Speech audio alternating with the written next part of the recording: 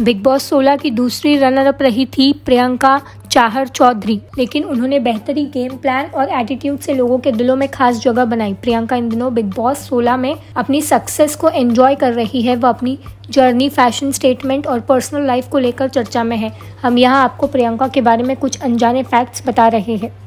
प्रियंका चाहर चौधरी के बारे में ऐसी बातें सामने आई जिससे पता चलता है कि वो कितनी स्ट्रांग है। वह साबित करती है कि वह कभी परिस्थितियों से हार नहीं मानती, ऐसा बिग बॉस में भी देखने को मिला था।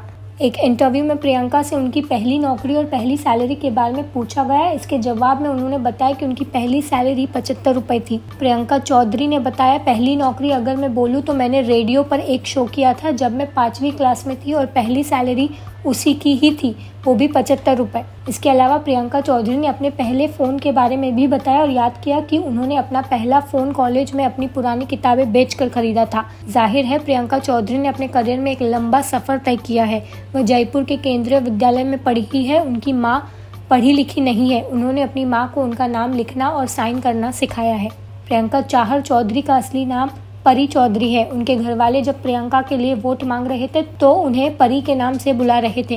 बिग बॉस 16 में प्रियंका चौधरी और अंकित गुप्ता की जोड़ी को खूब पसंद किया गया था। दोनों ने उडारिया में एक कपल की भूमिका निभाई। इसमें भी दोनों की जोड़ी को खूब पसंद किया गया।